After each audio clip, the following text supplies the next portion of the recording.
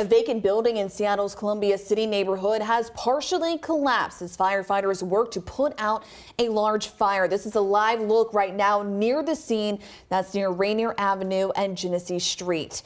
Come take a look at the video from the Seattle Fire Department. It says the front side of the building collapsed. No one is hurt.